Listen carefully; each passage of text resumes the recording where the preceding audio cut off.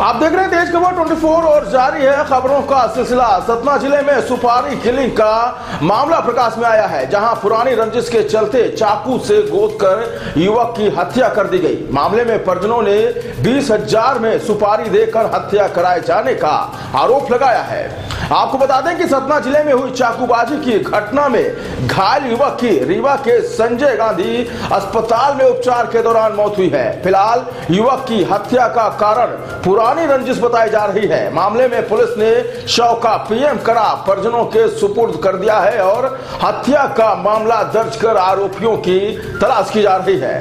दरअसल मामला कल शाम सतना ज़िले के कोलगवा थाना क्षेत्र का है। घटना के संबंध में मृतक के छोटे भाई सनी गुप्ता ने बताया कि उसके बड़े भाई रवि कुमार गुप्ता का दीपक गुप्ता अमन गुप्ता व अन्य लोगों से पुरानी रंजिश को लेकर विवाद चल रहा था। बताया गया कि बीती रात रवि जब अपने दोस्त गजेंद्र सिंह के साथ सामान लेकर वापस घर आ रहा था, तभी साकेत परिवार के आरोपियों ने रवि के ऊपर चाकू से हमला कर दिया।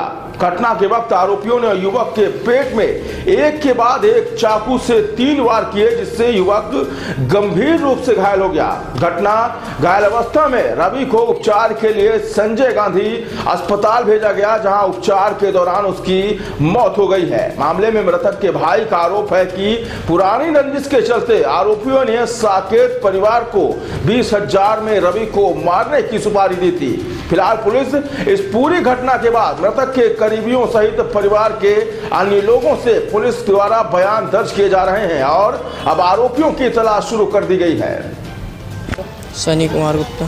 ये जो घटना हुई है जो मृतक है कौन है आपके? मेरे भाई है बड़ा। क्या घटना क्या हुई? घटना चाकू मार के हत्या। कौन मारा है? साकेत परिवार के तीन सदस्य चार सदस्य मिल करके मृतक का क्या नाम है? रवि कुमार गुप्ता। फिर ये मामला क्या था थोड़ा बताएँगे? पुरानी रंजिश को लेकर के मारपीट कर मारपीट करने के बाद चाकू मार के हत्या कर दी। ये घटना कब हुई है और कहाँ हुई? है कल कल उन्नीस तारीख को हुई है शाम को सात बजे। कहाँ पास हुई? है अ, सतना में इंडस्ट्रियल एरिया अ, रीवा रोड सतना। ये जो आरोपी है उनको आप पहचानते हो क्या? मैं चेहरे से पहचानता हूँ नाम से वैसे नहीं जानता था पहले। अब जान जाऊँगा जब देखूँगा तो पहचान जाऊँगा। बाकी जो उसके साथ में दोस्त के साथ मेरे भाई के साथ में दोस्त था वो सबको जानता है। उनके नाम गजेंद्र सिंह है जो सबको पहचानता है। और वो सतना में है।